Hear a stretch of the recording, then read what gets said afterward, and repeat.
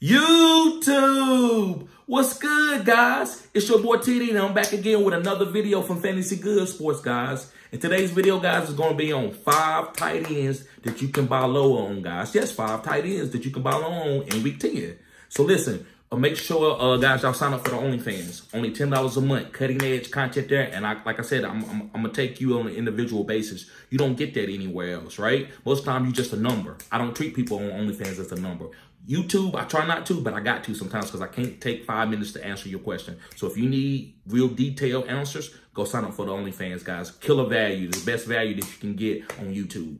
Um, like I said, I'm not dropping anything over there where you're going to see a special video that's going to give you the secrets.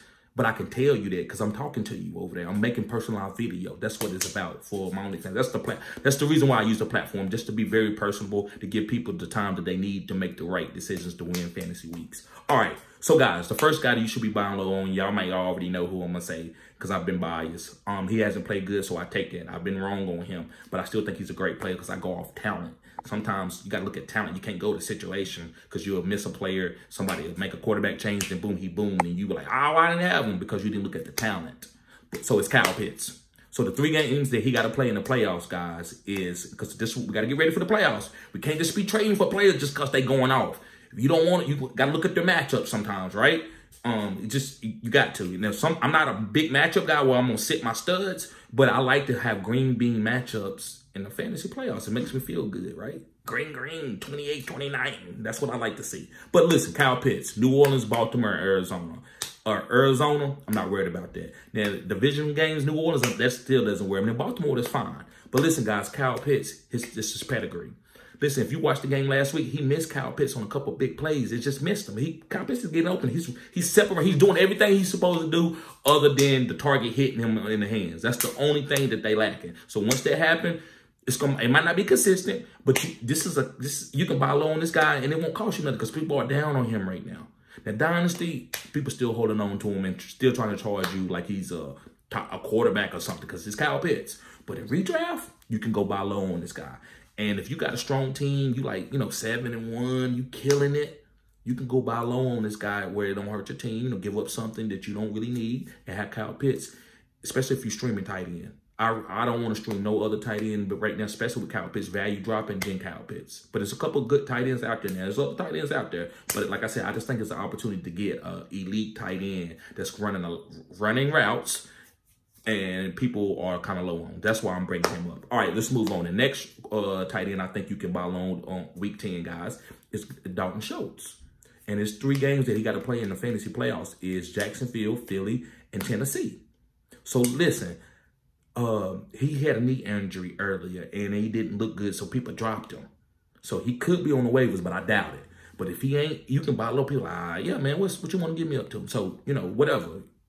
It might be a in dynasty, might be a pick, or in redraft, it might be a player, a certain player, right? Uh, tight end like uh, Mark Andrews, and you can get another package. But Dalton Schultz, long story short, Dalton Schultz is gonna be fine because he looked good last week. I, that's all I want to see. They need getting better and him catching targets, and that's what happened last week. So guys, this might be the week to go ahead and buy low on Dalton Schultz. That way, you got you a tight end, you don't have to stream him in the playoffs. All right, moving on. This tight end right here is one of my, this is my guy. Like, I like Kyle Pitts.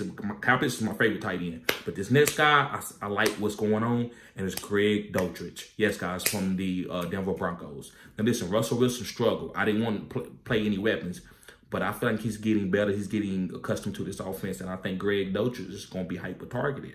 So, and he's athletic. He runs a 4'5", 4'4", 6'3", big hands, prototypical tight end. Great athletes. The, the, some of the best athletes are at the tight end position because they big and they fast and they got good feet. So, guys, I like Greg Dulcich. So I'm going to give you the three games he got to play. Arizona in the playoffs. Arizona is the worst team against tight ends in the last three years. So Greg Dulcich playing against Arizona week 15. Uh-oh! All right, the Los Angeles Rams, it still doesn't bother me because they're going to be worried about Courtland Sutton and Jerry Jeudy, right? Um, and, I, and then next, he got to play Kansas City. And again, like I said, they still got to worry about those wide receivers. He's not the only weapon there, right? Kind of like they is on Atlanta. It's like Drake London and Cal. No, he's like the fourth option, but he's starting now. They they bench Albert uh, O. So I love Greg Dulcich going forward, guys. Go on him. Next, guys, is Cole Kmet. Yes, and I was high. I said he was the top 12, but it looked bad the first six weeks of the season, right? Cole Kmet, yeah, you lost. He was wrong on that one, TD. And what it looked like. Like I said, I'm not right on everything, so I'm not trying to talk like I'm always right. That's I'm not. But sometimes when I say stuff, it be so ahead of the curve or so cutting edge, people like they can't they can't digest it, right? It's it's pure organic food, but it, but sometimes people don't want to digest it because they want they used to eating um human meat like McDonald meats and stuff. So this is this right here is the sauce. I'm giving you real pure stuff. So guys, Cole Kmet, hey, with Justin Fields running around, you can't stop both. I, reason why I know, because guys, I'm gonna get a whiteboard and I'm gonna start showing you.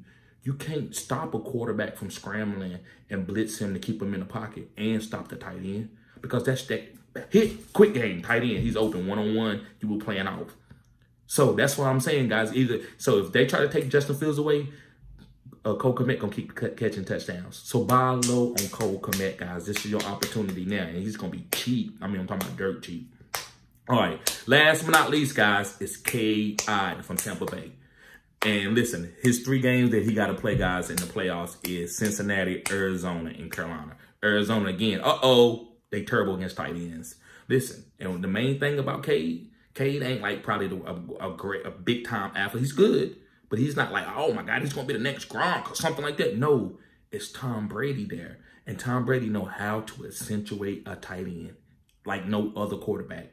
Tom Brady can all like his tight ends always been really good. I'm not saying he ain't had good talented tight ends, but he all even with being coach, he know how to use being coach. So guys, with K I being there, um, I think this is a smash play because he got weapons around him. So nobody's never gonna double team K I. So now you can just play, throw them out there and he getting red zone targets and he two touchdowns a game because they, Mike Evans may be struggling or maybe uh, Godwin is not healthy or a Leonard Fournette can't punch it in. I'm telling you, K. Ivan's going to have touchdown upside with about six or seven targets. And that's at least. Because, you know, Tom Brady throwing that ball about 50 times a game. That's what makes me feel good about his weapons too, because he passing the ball. There's a lot of value on this team, right? So guys, thank y'all for tuning in. Make sure you hit the like button and subscribe to this channel. This is cutting edge content. A lot of people don't agree when I say he's cutting edge, guys. I had guys come and hit me up on my Gmail and send me messages and go on soliloquies talking shit about me. Talking about, man, this is this cutting edge? Well, like I said, I just want like to tell y'all what I go through because, hey, I'm an overcomer. It, it, it, actually motivates me. So that's why I'm telling. I'm not telling y'all to complain. Ah, people are against me and they mean to me. No, that's not what I'm saying. I'm saying I like it. Keep coming because I. Hey, listen, that's why I got to win some championships this year. And if I don't, I, I'll be humble. It is what it is. But I'm still coming back the next year after that. So guys, I got really good. So I got to show y'all my leagues. But anyway, guys, make sure you subscribe to this channel and sign up for the OnlyFans. That way, guys, if you got if you need a personalized video, you need a who should I start? What should I do, Terry? Just your opinion. Because then look, my opinion is not ultimate. So I like to come chop it up and just like, I, I mean, what you think? What about this and what, what about that? And that's what OnlyFans for. Only $10 a month. Nothing weird going over, guys. Just a different platform. Everybody uses Patreon. So thank y'all for tuning in. Peace.